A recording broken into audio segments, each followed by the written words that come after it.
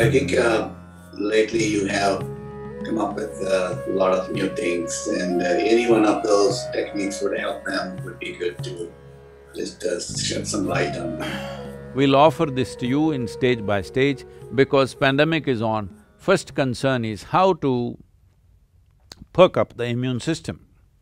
Today studies have been done in uh, Harvard, Harvard Medical School to show how this simple process called Simha Kriya enhances your immune system and also improves your lung capacity and definitely alters the way oxygen distribution happens in the system and uh, maintaining your oxygen levels and keeping your immune system is the most important thing that you do… need to do right now. For this, you must start Simha Kriya and there's another process called Yoga Namaskar, which is uh, very, very vital to activate your neurological system to a certain level of exuberance.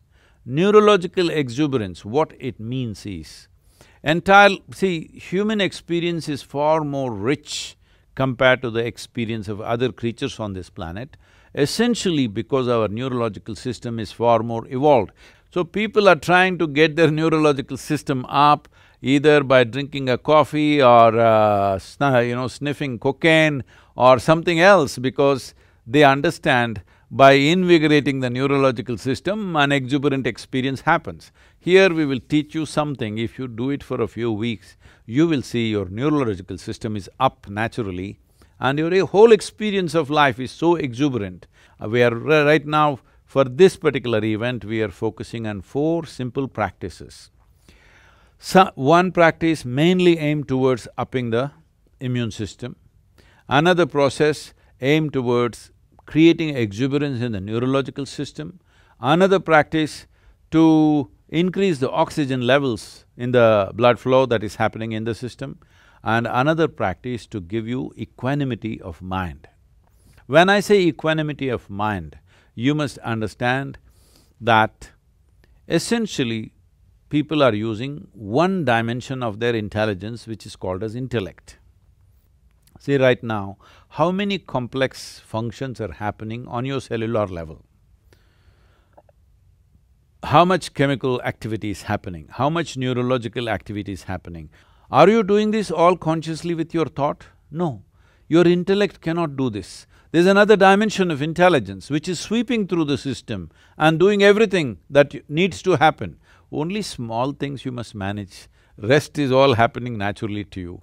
If you access this dimension of intelligence, life will become a play, not a struggle. For this to happen, there are two problems. One fundamental problem is your identification with the body. Another fundamental problem is you create a whole world of your own in your mind. This essentially means you were given this body and this mind so that you can live in this world in the best possible way. But unfortunately, you don't live in this world, you create a whole new world of your own. And this world you, this world goes bad means you must understand it is just like a dream. What is happening in your head is your dream. If you can't manage your dream well, what the hell are you going to do with life? Life has too many ingredients. Your dream has just you. You can make it happen whichever way you want. Your thought, your emotion should happen your way. For this, we will have a simple kriya called Isha Kriya. I want all of you to at least invest forty to… forty minutes to sixty minutes a day for your well-being, for physiological and psychological well-being of who you are, because without this, your job, your family, your money, your earnings, all these things will mean nothing, nothing at all.